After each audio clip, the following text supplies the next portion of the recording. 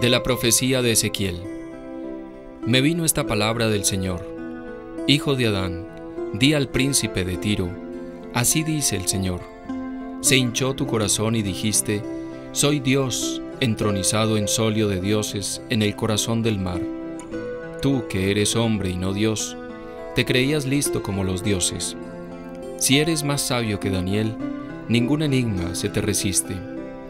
Con tu talento, con tu habilidad, te hiciste una fortuna, acumulaste oro y plata en tus tesoros. Con agudo talento de mercader ibas acrecentando tu fortuna, y tu fortuna te llenó de presunción. Por eso así dice el Señor, por haberte creído sabio como los dioses, por eso traigo contra ti bárbaros pueblos feroces. Desenvainarán la espada contra tu belleza y tu sabiduría, profanando tu esplendor. Te hundirán en la fosa, morirás con muerte ignominiosa en el corazón del mar. Tú, que eres hombre y no Dios, osarás decir, soy Dios, delante de tus asesinos, en poder de los que te apuñalen.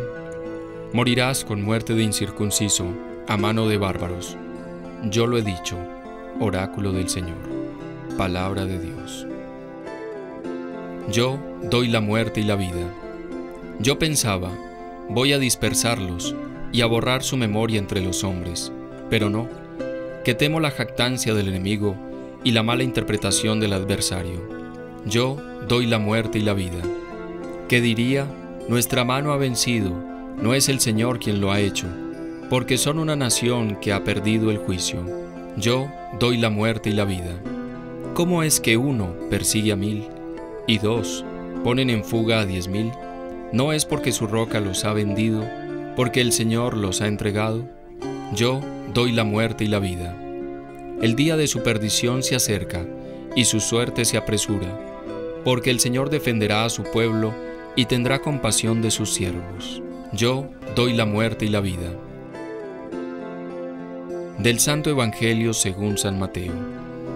En aquel tiempo dijo Jesús a sus discípulos, Os aseguro que difícilmente entrará un rico en el reino de los cielos. Lo repito, más fácil le es a un camello pasar por el ojo de una aguja que a un rico entrar en el reino de Dios.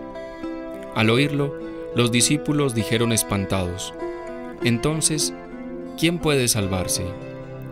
Jesús se les quedó mirando y les dijo, Para los hombres es imposible, pero Dios lo puede todo. Entonces le dijo Pedro, Pues nosotros lo hemos dejado todo y te hemos seguido. ¿Qué nos va a tocar?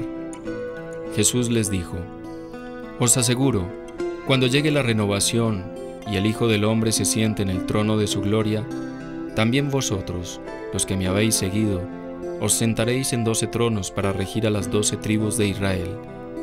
El que por mí deja casa, hermanos o hermanas, padre o madre, mujer, hijos o tierras, recibirá cien veces más y heredará la vida eterna Muchos primeros serán últimos y muchos últimos serán primeros. Palabra del Señor.